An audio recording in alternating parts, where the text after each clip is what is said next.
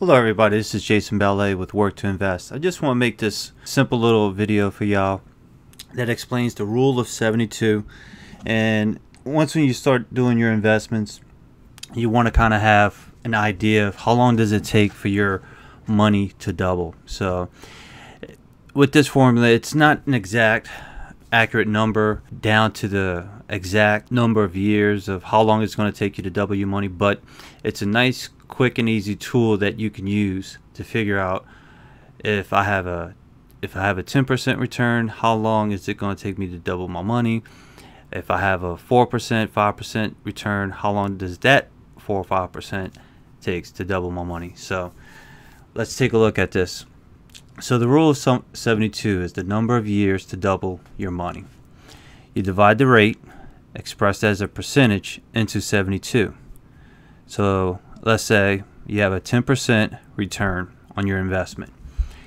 So you take 72 divided by 10 equals 7.2 years for you to double your money.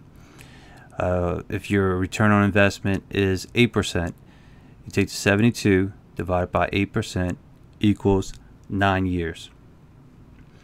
And, and so on. So let's say you have 6%, 72 divided by 6, 12 years, and 4%, 72 divided by 4 equals 18. So if you're investing in, let's say, a business and it is a 20% return on your investment with the business that you're going to invest in, and let's say that investment is going to cost you $20,000 and you get 20% return on your investment.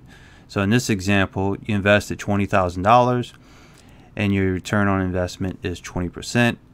So it takes about 3.6 years to double your money. So after 3.6 years, you're going to have $40,000. So this tool is pretty useful for you to figure out your return on investment, how long it's going to take you to double your money.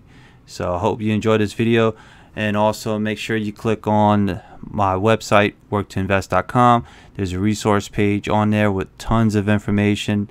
Go through it and check it out.